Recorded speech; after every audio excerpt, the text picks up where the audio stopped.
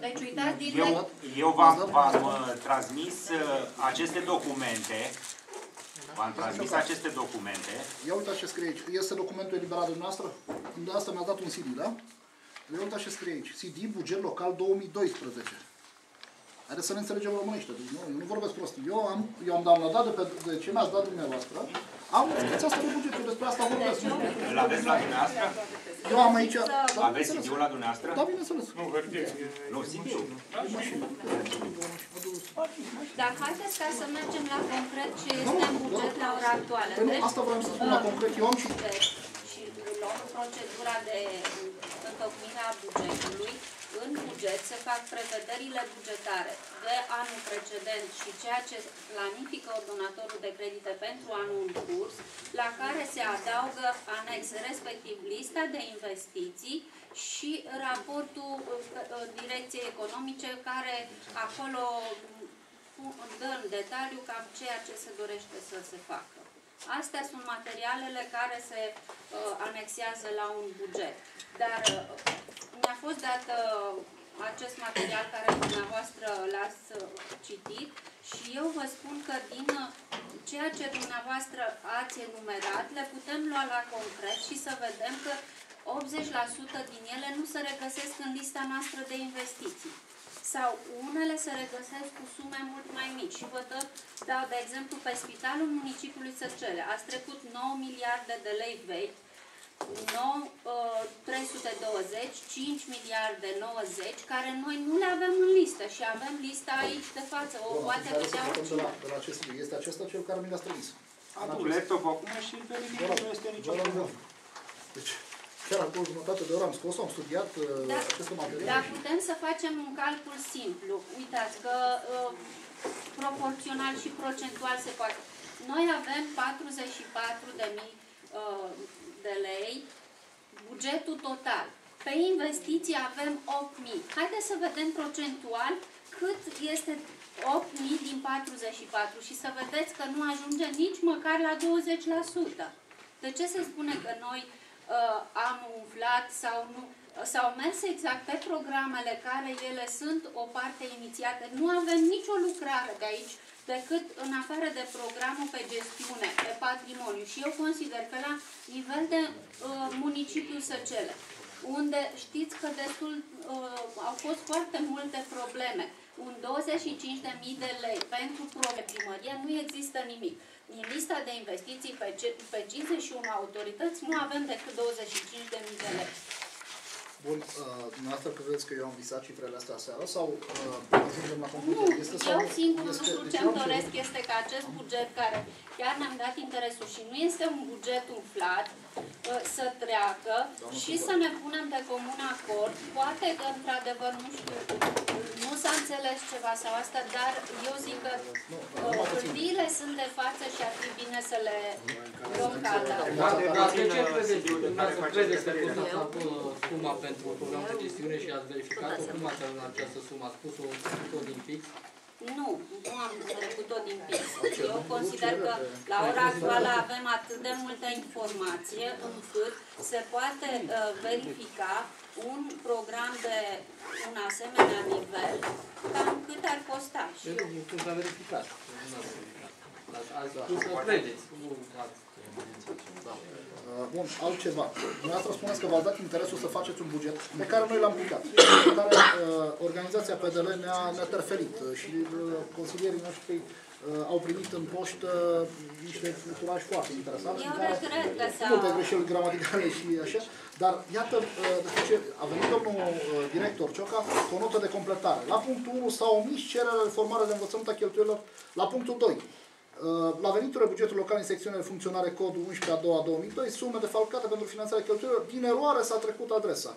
La punctul 3, corect fiind prefinanțare, nu ceea ce scrisese. La punctul 4, capitolul 6502, la uh, total cheltuieli pe secțiune de funcționare, se va înscrie corect suma de 11.453. La punctul 5, la cheltuielile bugetului local în secțiunea de dezvoltare, la rândul programe din uh, Fondul European de Dezvoltare, suma corectă este asta, nu cealaltă.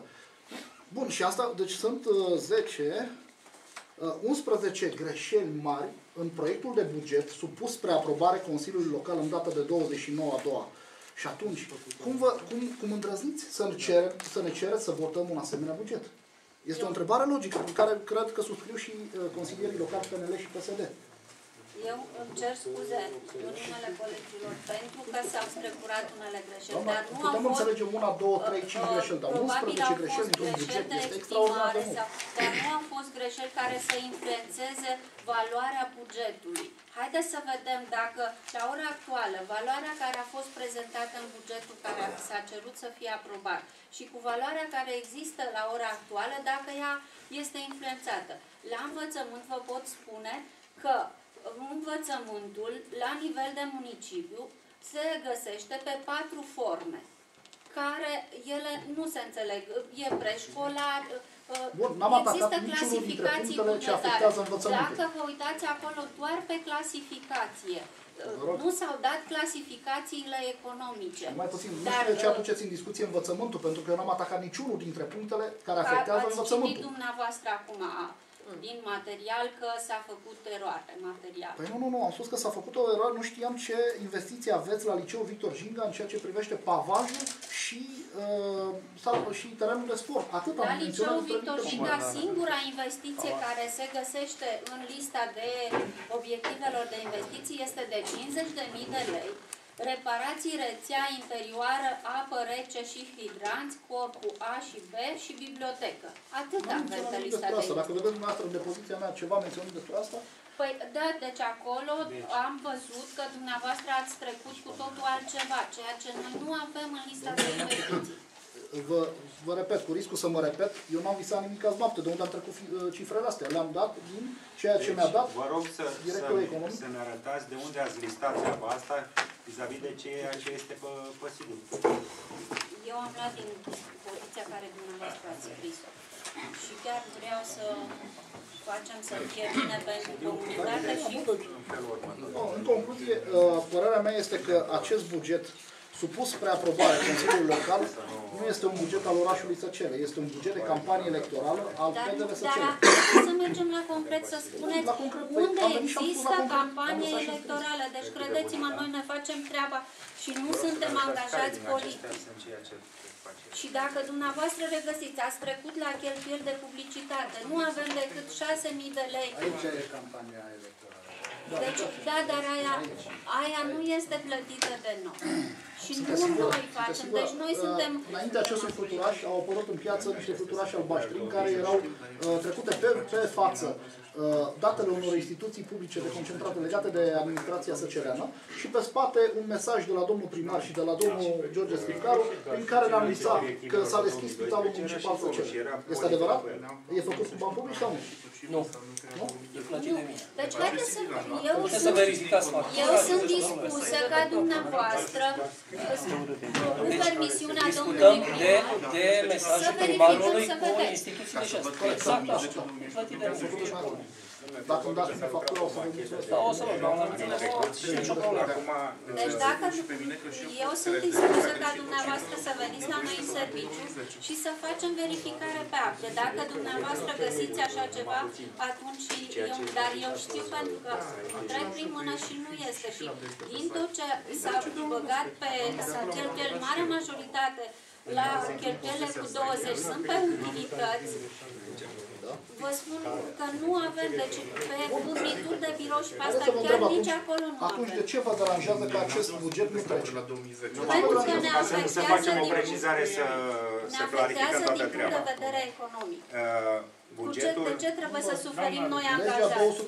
273 pe 2006 vă poate da drept să funcționați la 1 pe 12 din bugetul anului Da, precedent, dar nu corect? putem să acceptăm fondurile care ni le dă numai uh, puțin, această, bugetul statului. această discuție uh, s-a mai purtat și în ședința Consiliului Local. Vreau să vă spun cât anume putem să, folo- să funcționăm de 1 pe 12 în termen de 45 de zile de la aprobarea bugetului, uh, legii bugetului de stat, termen care este depășit.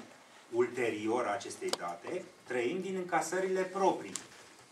Deci nu, uh, că să se înțeleagă foarte bine, atâta timp când nu vom avea încasări la bugetul local, ne primim nici cote, nici sume defalcate de la bugetul de stat, activitatea instituției poate, poate să fie blocată. Deci nu se vor putea plăti utilități, nu se vor putea plăti credite uh, bancare, nu se vor putea plăti salarii, absolut nimic atâta timp când nu există uh, sume cuantificate ca încasări. Uh, Vis-a-vis de ceea ce faceți uh, dumneavoastră uh, referire, într-adevăr există un sheet într-un formular uh, Excel, dar și titlul acestui sheet spune listă de investiții 2010 sau propuneri buget 2010. Deci nu 2012. Uh, Anexa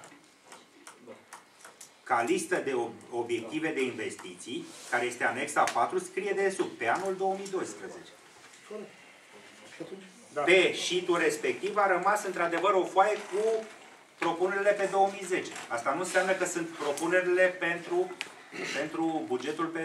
Ovidiu, dar cu ce a greșit el? Deci, Da, cu Cu ce ce a am greșit el când când l-a dați citit de nevoie, acolo? deci n-a greșit nimeni, numai că s-a Nu, interpretat dar greșit. nu Deci, s-a interpretat și s-a greșit. trimis El a venit, el a convocat aici ca să stăm, că ați avut să-i dați cum scrie și i-ați dat ce i-ați dat. Deci, domnul Nu Părinte, e- scria acolo la titlu, scria 2010. Și de unde să știm că nu trebuie Deci, să fie deci 2012? nu mai puneți întrebarea de unde să Nu, știți. domne, că scrie pe Ținând plin cont că în buget au 2012. fost 11 Deci, greșeli, a aveți 12 dreptate, credeți că aveți era... dreptate, dar La lista aceasta Mai scrie conta? sus 2010. Într-adevăr, s-a greșit trimițând... Păi da, dar a cerut în mod excepțional. Eu de când sunt aici niciodată n-am mai asistat. cunoștința consilierilor înainte de ședință, deci nu după ședință. După Deci, ce i-ați trimis voi cu 2010. Ieri, ieri domnul nu director putu, deci mi-a nu are indicat- legătură cu Domnul, domnul, 2010. permiteți o, o remarcă. Domnul, Într-adevăr, e foarte bine că ați sesizat că, sau și să știți, domnul consilier Zavarache pot să vă spună în ședințele pe comisii și astea la greșelile care apar în materiale, să știți că toată lumea, Toată lumea are, ia atitudine, are o asta e serie, clar. ia atitudine și asta, asta puteți să confirmați. Cert este că, într-adevăr, și nu este normal să apară asemenea greșeli. Cert este că acea notă de completare a fost prezentată și în ședința de comisii, a venit domnul Cioca, deci, în ședința de Consiliu pentru, a- și a fost anexată și în ședința de Consiliu. Deci când s-a supus aprobării bugetul, a fost împreună cu nota de completare care corecta greșelile acelea. Deci nu s-a supus un buget cu 11 greșeli. Greșelile au apărut în cadrul discuțiilor în comisie. Asta e. Iar referitor la fluturașul cu primarul, o să vă demonstrez că eu l-am plătit, dar putea să fie plătit chiar de primar, că era un comunicat al primarului. Deci nu era nicio problemă. Dar Eu, nu eu e. așa l-am și perceput ca un comunicat al primarului, din partea dar este primarului. un comunicat mincinos. Nu e. Deci, Mă rog, aia, haideți aia o să- discutăm, haideți să o nu discutăm. este noi. locul uh, N-are și sens momentul aici să în- discutăm fluturașii. Sigur că, da. Ca o completare la ceea este adevărat, nu este normal să fie, dar trebuie să vă gândiți că noi uh, în serviciu am rămas la un moment dat cu trei persoane. Pentru că acea ordonanță 63 unde te limitează că trebuie să plece șapte persoane să vină una, este foarte greu. Mie din serviciu mi-a plecat patru oameni care, credeți-mă, și dare de seamă care trebuie să uh, includă atât spitalul cât și școlile, uh, plus bugetul, nu a fost chiar atât de ușor. Și, așa cum v-am spus, au fost erori de formă, nu de conținut.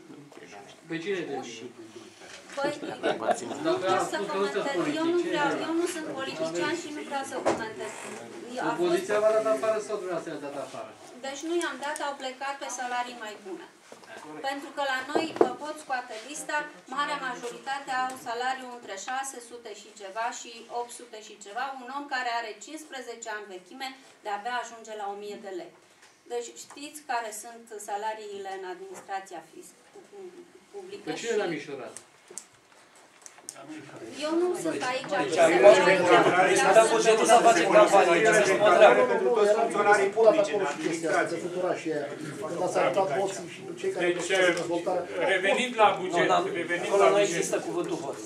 Păi nu, dar Nu, nu, uh, cite- blochează Deci, dezvoltarea domnul acestei- Panait, am, am o rugăminte.